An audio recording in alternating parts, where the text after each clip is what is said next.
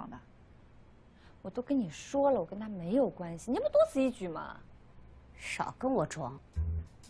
你跟罗畅一直有联系。是我们是有联系，但是我们没有关系，我们就是普通朋友。普通个什么？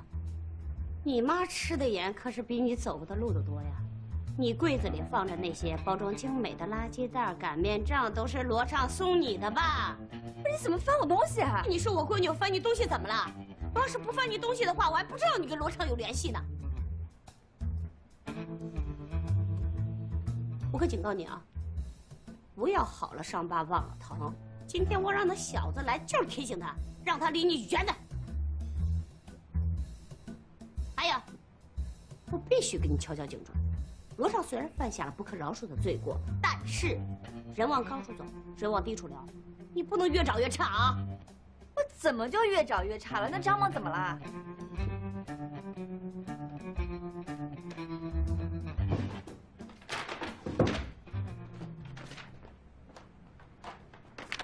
这啥？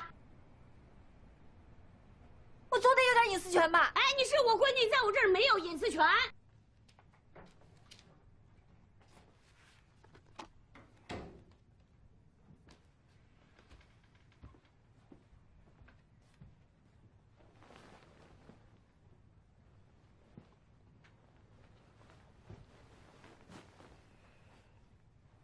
有什么问题就问吧。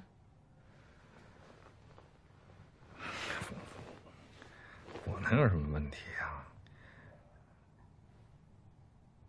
我就是想问问你，你怎么最近越来越漂亮？行了，别装了。吃饭的时候我就看出来了，你一直憋着呢。想问我是不是想带洋洋出国，对吗？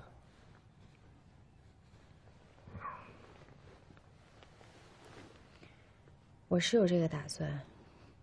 张猛那边的条件你也知道，今天你也看见了，洋洋吃饭还在看动画片这哪像一个有家教的孩子呀？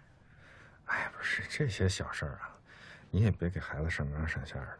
你说你平常吃饭的时候，不也有时候在那追剧吗？那我能一样吗？我是大人呀。现在洋洋正是性格形成的时候，非常关键，不能让他养成坏毛病。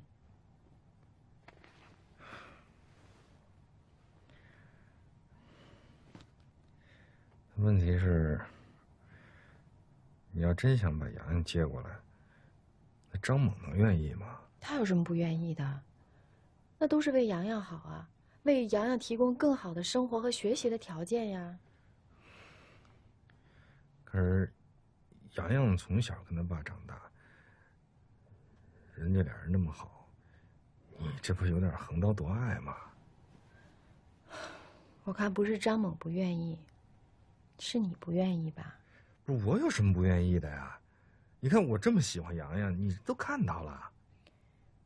再喜欢也不是亲生的。反正我的话早都说明白了，我这辈子是不会再要孩子了，我只能有洋洋一个孩子。哎，不是，你要是不想让洋洋跟我们一起出国，那我就不去了。不是，那你也不能说你让我一个人去。